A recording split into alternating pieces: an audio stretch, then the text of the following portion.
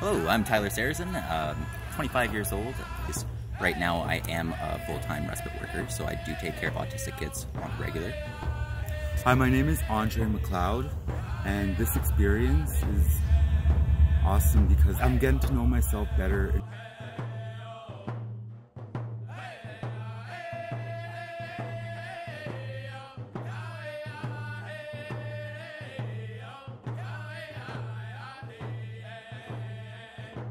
This is teaching me useful tools, an extension of the stuff that I already know, um, to help those that I surround myself with. Uh, going forward, this is something that I'm going to take and apply in my day-to-day -day life. Uh, there's a lot of techniques here that they're showing us and they're teaching us step by step on how to deal with things. Everything that I've experienced with all these beautiful people, um, I opened up and I feel like I feel much lighter.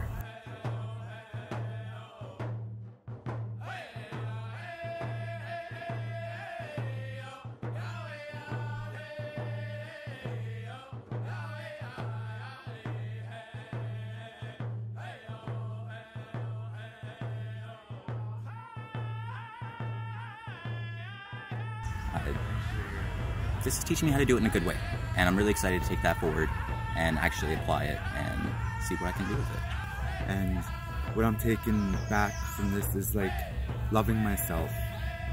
I'm gonna go home and I'm gonna just, you know, teach people that I know that are struggling, and I'll carry it forever in my heart.